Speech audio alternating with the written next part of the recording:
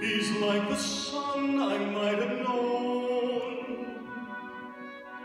If God